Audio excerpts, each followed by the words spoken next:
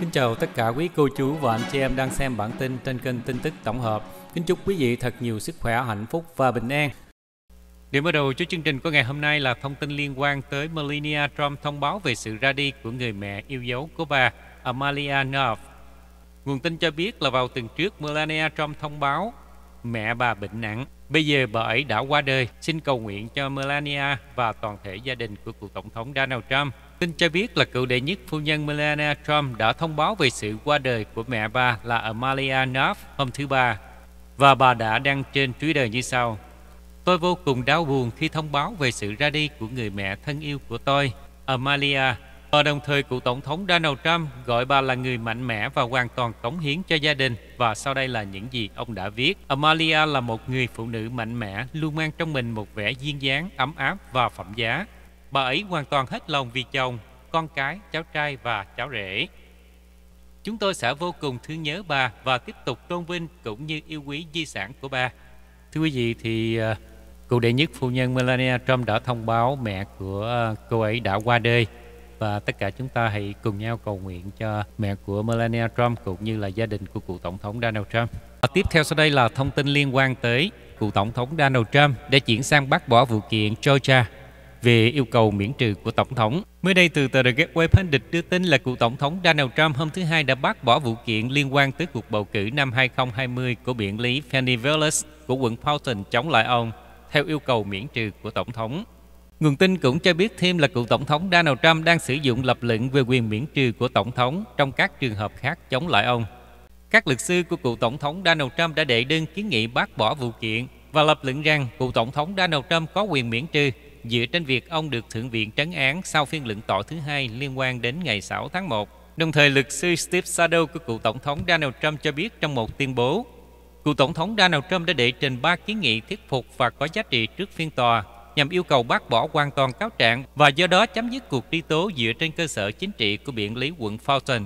Bản cáo trạng bị cấm bởi quyền miễn trừ của Tổng thống và nên bị bác bỏ với thành kiến. Hồ sơ của Tòa Thượng thẩm quận pháo Fulton hôm thứ Hai cho biết lập luận rằng quyền truy tố một Tổng thống hiện tại hoặc cựu Tổng thống về các hành chính thực tế không tồn tại. Đồng thời, cựu Tổng thống Donald Trump cũng đã đệ trình hai động thái khác nhau để bác bỏ vụ kiện vào thứ Hai một cho rằng các cáo buộc vi phạm quyền của ông đối với thủ tục tố tụng hợp pháp và một vấn đề khác cho rằng nó khiến ông gặp nguy hiểm gấp đôi. Thưa quý vị thì à, qua cái nguồn tin này cho chúng ta thấy là dường như cái uh, vụ kiện của bà Penny Velas đang bị phá hủy bởi uh, tòa phúc thẩm khu vực 11 và họ cho rằng là theo học thuyết của đỉnh cao là tòa án quận rất hiếm khi bắt buộc sự tham gia của một quan chức cấp cao trong một thủ tục tố tụng tư pháp và các quan chức cấp cao không nên được gọi để cho lời khai trước tòa án quận với lý do họ đã thực hiện các hành động chính thức của họ. Và đây cũng là một cái vấn đề hơi khả quan hơn một tí đối với cựu tổng thống Donald Trump. Vì thế chúng ta tiếp tục cầu nguyện cho sức khỏe và sự an toàn của cựu tổng thống Donald Trump cũng như gia đình của ông ấy. Tiếp theo sau đây là thông tin liên quan tới hồ sơ cáo buộc biện lý Fannie Wallace của quận Fulton có mối quan hệ lãng mạn không đúng đắn với công tố viên hàng đầu của cựu tổng thống Donald Trump và tìm cách loại Fannie Wallace khỏi vụ kiện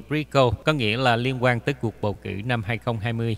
Nguồn tin cho biết là theo một hồ sơ tạp chí hiến pháp Atlanta đưa tin là biện lý quận Fulton do George Soros tài trợ đã có một mối quan hệ lãng mạn không đúng mực với công tố viên hàng đầu của cựu tổng thống Donald Trump trong văn phòng của bà ta. Theo AGC, Penis Vallet được hưởng lợi về mặt tài chính từ mối quan hệ lãng mạn với Nathan Wade, một công tố viên hàng đầu mà cô thê để truy lùng cựu tổng thống Donald Trump. Nathan Way được Pennis Wallace đưa vào làm công tố viên đặc biệt vào tháng 11 năm 2021.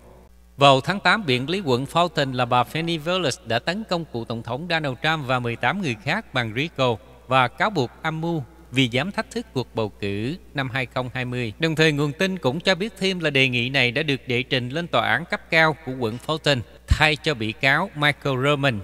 Một cựu quan chức chiến dịch tranh cử của cựu Tổng thống Donald Trump đã bị buộc tội với các tội danh 1, 9, 11, 13, 15, 17, 19 trong vụ RICO của Fannie Willis.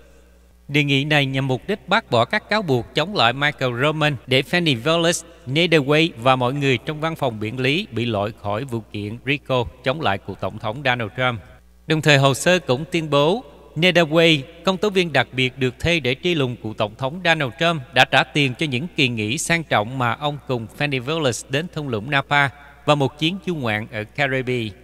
và họ đã sử dụng tiền từ quận Fountain để chi trả cho những chuyến đi xa ngoài thành phố của họ. Và theo tạp chí Atlanta Hiến pháp đưa tin, hồ sơ của quận cho thấy Way, người đóng vai trò nổi bật trong vụ can thiệp bầu cử, đã được trả gần 654.000 Mỹ Kim phí pháp lý kể từ tháng 1 năm 2022. Biện lý quận là bà Fanny Wallace cho phép anh ta được hưởng số tiền đó. Và kiến nghị cũng cho biết thêm các nguồn tin thân cận với cả công tố viên đặc biệt và biện lý quận đều xác nhận rằng họ có mối quan hệ cá nhân đang diễn ra. Và hồ sơ cũng khẳng định rằng là Fanny Wallace chưa bao giờ bổ nhiệm Way vào công tố viên đặc biệt, đã được Hội đồng ủy viên quận Fulton chấp thuận. Điều này theo yêu cầu của pháp luật. Đề nghị cũng cho biết thêm, các tấm chi phiếu được gửi cho Way từ quận Fulton và việc anh ta mua các kỳ nghỉ sau đó cho Fanny Wallace có thể dẫn đến gian lận dịch vụ trung thực. Cũng có khả năng hành vi này có thể bị truy tố theo đạo luật liên bang về gian lận. Đồng thời, luật sư của Rothman là bà Ashley Merchant đã viết rằng đề nghị này không được xem nhẹ, nó cũng không được đệ trình mà không có sự cân nhắc, nghiên cứu hoặc điều tra đáng kể. Nhưng vấn đề phải được nêu ra và phải được lắng nghe vì các vấn đề này đánh vào trọng tâm của sự công bằng trong hệ thống tư pháp của chúng ta. Và nếu không được giải quyết và kiểm soát, có nguy cơ làm hỏng toàn bộ quá trình truy tố trong vụ án này, gây ra sai sót và làm suy yếu hoàn toàn niềm tin của công chúng – về bất kỳ kết quả nào trong quá trình tố tụng này và kiến nghị cho rằng Willis và Way đã có một mối quan hệ cá nhân bí mật không đúng đắn trong thời gian chờ xử lý vụ án này, dẫn đến việc công tố viên đặc biệt vào biện lý quận thu lợi đáng kể từ vụ truy tố này tại phiên tòa, chi phí của người nộp thuế. Và đây không phải là lần đầu tiên Fanny Wallace bị buộc tội theo đảng phái và vô lực pháp. Thưa quý vị, thì à, lại thêm một cái chuyện ồn ào nữa đã đến từ cái phía của chính phủ cho nên qua cái à, thông tin này, cái từ RICO có thể định nghĩa một cách chính xác là âm mưu lớn nhất của gia đình tội phạm, chống lại bất kỳ ai được coi là đối thủ cạnh tranh của họ. Và tiếp theo sau đây là thông tin liên quan tới cựu tổng thống Donald Trump đã nổi tiếng hơn tổng thống Biden trong 10 tuần liên tiếp. Từ Morning Consult cho biết hôm thứ ba là mức độ ưu ái rồng của cựu tổng thống Donald Trump vẫn vượt trội so với tổng thống Biden trong 10 tuần liên tiếp. Đây là một phát hiện bất thường trong bối cảnh hàng loạt cuộc tấn công pháp lý đối với cựu tổng thống Donald Trump. Cuộc thăm dò đánh dấu lần thứ 10 cựu tổng thống Donald Trump được nổi tiếng hơn tổng thống Biden. Nguồn tin cho biết kể từ khi tổng thống Biden trở thành tổng thống, bốn bản cáo trạng đã tấn công cựu tổng thống Donald Trump. Một là tòa án quận ở Manhattan, New York, hai là tòa án liên bang ở Miami, Florida, ba là tòa án liên bang ở Washington DC và cuối cùng là tòa án quận ở quận Fulton, Georgia. Và tất cả những bản cáo trạng này bao gồm 91 tội danh cho đến nay, 34 tội danh ở New York với tổng cộng hình phạt tối đa là 136 năm tù. 40 lần ở Miami lên tới 450 năm tù. 4 tội danh ở DC lên tới 55 năm tù hoặc tử vong. Ờ, mà 13 tội danh ở Georgia có thể phải đối mặt với án tù là 76,5 năm tù. Đồng thời, cựu Tổng thống Donald Trump cho rằng các cáo trạng là sự can thiệp vào cuộc bầu cử Việc này có sự phối hợp chặt chẽ với Bộ Tư pháp của Tổng thống Biden. Bởi vì cả trong vụ Georgia và vụ tài liệu mật, các công tố viên được cho là đã gặp nhau tại Nhà Trắng trước khi truy tố của Tổng thống Donald Trump. Thưa quý vị, thì ờ, như tất cả chúng ta đều biết, không phải là chỉ vào cái thời điểm này của Tổng thống Donald Trump mới là người nổi tiếng. Ông đã nổi tiếng từ khi ông bắt đầu bước xuống cái à, thang cuốn vàng vào năm 2015 và tuyên bố à, tranh cử tổng thống và mình tin rằng là Tổng thống Biden cũng như là đảng Dân Chủ cùng với à, tất cả các đảng viên ở quốc gia này đều biết điều này. Tiếp theo sau đây là thông tin liên quan tới tòa phúc thẩm hoài nghi về khả năng miễn trừ của cựu Tổng thống Donald Trump. Mới đây từ tờ The Gateway Pundit đưa tin là luật sư John Sawyer của cựu Tổng thống Donald Trump đã xuất hiện trước hội đồng gồm 3 thẩm phán của tòa phúc thẩm DC vào sáng thứ Ba để tranh luận về các yêu cầu miễn trừ của cựu Tổng thống Donald Trump trong vụ án DC của Jack Smith. Ban giám khảo gồm 3 thẩm phán đang nghe cuộc tranh luận bằng miệng về yêu cầu miễn trừ.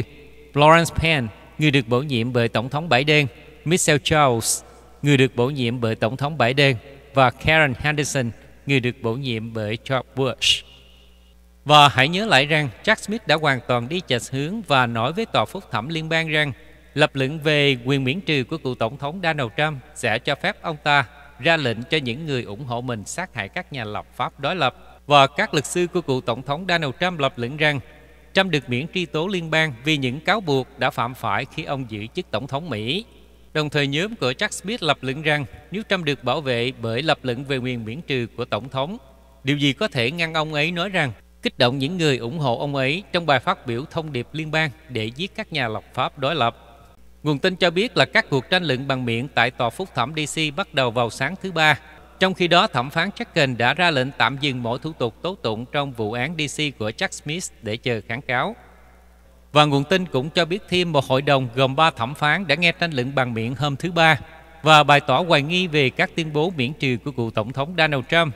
Một thẩm phán, người đã được Tổng thống Biden bổ nhiệm, đã hỏi luật sư John Sawyer rằng liệu Trump có bị truy tố hình sự nếu ông ta ra lệnh cho đội siêu sáo ám sát các đối thủ chính trị của mình hay không. Và sau đây là câu trả lời của luật sư của cựu Tổng thống Donald Trump là John Sawyer. Nếu ông ấy bị luận tội và kết án trước, câu trả lời của tôi là đủ điều kiện. Có. Sẽ có một quy trình chính trị sẽ phải diễn ra theo cấu trúc hiến pháp của chúng ta là yêu cầu thượng viện luận tội và kết án trong những trường hợp đặc biệt này. Và nguồn tin cũng nói thêm rằng tất nhiên đây là một câu hỏi giả định vô lý, lặp lại lập luận của Jack Smith trước tòa phúc thẩm liên bang. Và đồng thời nguồn tin cũng cho biết thêm nếu tòa phúc thẩm khu vực DC ra phán quyết rằng Trump không có quyền miễn trừ tổng thống, Trump sẽ kiện lên tòa án tối cao của Hoa Kỳ và yêu cầu tạm dừng ở đây thêm một lần nữa. Thưa quý vị, thì qua cái nguồn tin này cho chúng ta thấy là những cái câu hỏi đặt ra nó không có, dường như là nó không có liên quan tới cái trường hợp này. Là gì? Là bởi vì cựu Tổng thống Donald Trump không thể bị truy tố hình sự vì thực hiện cái nhiệm vụ Tổng thống của mình. Có nghĩa là trong cái lúc đó là cựu Tổng thống Donald Trump đang bảo vệ cái hiến pháp trong việc đặt câu hỏi về cái tính hợp pháp của cuộc bầu cử. Thì đó là cái nhiệm vụ của Tổng thống. Còn cái riêng cái vấn đề mà về cái giết đối thủ à, hoặc là à, giết cái đối thủ bằng cái đội à, siêu sáo gì đó thì họ đặt ra đây là không phải là nhiệm vụ của tổng thống. Thì chắc chắn nếu mà tổng thống làm cái vấn đề đó thì chắc chắn tổng thống sẽ bị truy tố hình sự. Trừ khi chính cái đối thủ đó đang phạm tội khiến tổng thống phải hành động để ngăn chặn nó. Thông tin vừa rồi cũng đã kết thúc cho bản tin hôm nay xin chân thành cảm ơn sự quan tâm theo dõi của quý khán giả. Xin kính chào tạm biệt và hẹn gặp lại trong những bản tin tiếp theo.